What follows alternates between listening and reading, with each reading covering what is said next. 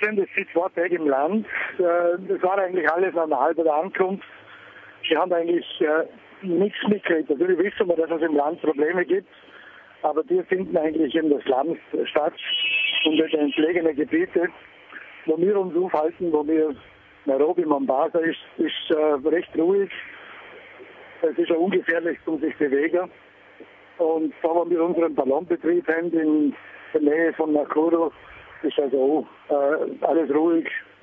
Es hat ein paar kleine Zwischenfälle gegeben, aber nicht so, dass es in irgendeiner Art gefährlich wäre. Also ich fühle mich überhaupt nicht äh, gefährdet, muss ich sagen. Natürlich gibt es Gegenden, wo man, wo man nicht ahnen sollte, aber es sind Gegenden, wo man auch nicht ahnen geht, wenn, wenn keine Unruhen sind.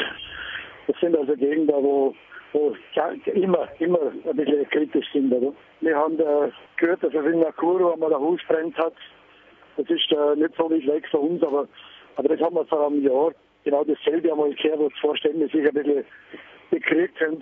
Das hat aber damals mit, mit überhaupt nichts mit Wahlen zu tun und jetzt ist halt das Ganze schon ein bisschen unruhiger. Was ist, dass der Treibstoff könnte knapp werden die nächste Woche, der Diesel, Benzin, da könnte es ein bisschen Einschränkungen geben.